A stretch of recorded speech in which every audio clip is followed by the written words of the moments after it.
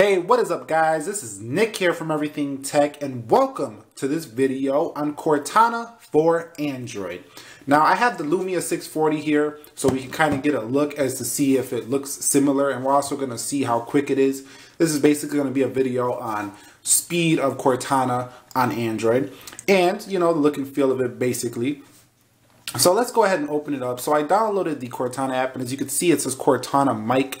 Now this app icon might be a little bit different if you're not using the theme I'm using. I'm using a theme right here as you can see for this, uh, it's like this Note 5 theme. So they do theme out the icons right here. We'll get in more of that and what's in my Android for the month of January. But let's check out Cortana here.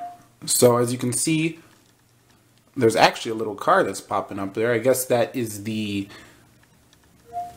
I guess there's a widget for it as well, so it's nice and simple. Let's go into the app from the app drawer. So let's go to Cortana right here. So that's how the icon looks there. So it says, hi, Nick. Basically, when you first start it up, it's going to ask you for your Microsoft account, and it's going to um, ask you for your name. That's why it said, hey, Nick. So basically, as you can see, ask me anything with the little logo right there. So let's go ahead and grab the Windows phone and see if this looks identical.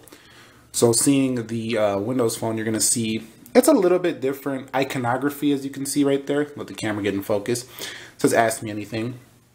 And the cards is a little more wider out on here, so it goes screen to screen here.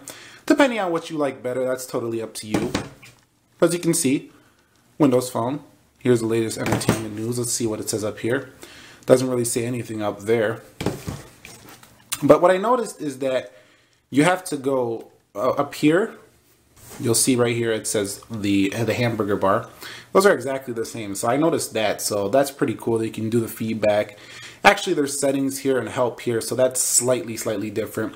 But you can see overall it's a little blue you know blue on Android and it's white on Windows Phone. So Windows Phone and Android's got slightly different you know iconography or icons or fonts or whatever you want to call it. But let's go ahead and test this out. So let's say, you could say human-like things to Cortana even on Android. So let's say, do you love me? I'll need quite a few upgrades before I can give you a heartfelt answer. Tell me a joke. I told the doctor I broke my arm in two places. He told me not to go into those places. Yeah, the jokes aren't aren't the funniest, but they're there if you feel like talking to your phone. I love you. Thanks. Ditto. She said thanks, ditto, but earlier she said I need some upgrades, so she's a little bit off in her language. But let's go ahead and check out uh, speed test between the two. Let's hit them both at the same time.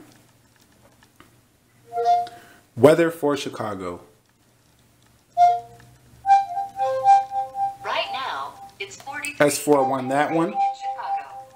Right now, it's 43 and then the and lightly raining in Chicago. So as you can see, even though Microsoft has made the app for Android, it's quicker on Android than it is on this Lumia 640. Now that might be due to the fact that this has a better processor in it. Yeah, it's the older S4, but whatever. It's got two gigabytes of RAM, and that's still a lot better than most of your, you know, phones in this price range. But let's try another thing to see if it gives us the same results. What is 155 times 152? 23,560. Now the 640 beat the S4 on that one, so maybe I have to retract my statement. But all, all in all, you can see that Cortana works very well here on Android. So if you were wondering about downloading it or whatever, or anything like that, or the speed of it, or if it's going to be worth it, I'd say go ahead and do it. It just gives you an extra feature to your phone, and this is a lot better than, you know, S-Voice, and I would even argue this is better than Siri, but once again, that's my perspective. Let me know your perspective on what is the best voice assistant for Android, or for your phone in general. And yeah, that pretty much wraps up this short little video on Cortana for Android. And we could call it a little bit of a versus video, but it's not really a versus video. It's more about Cortana for Android.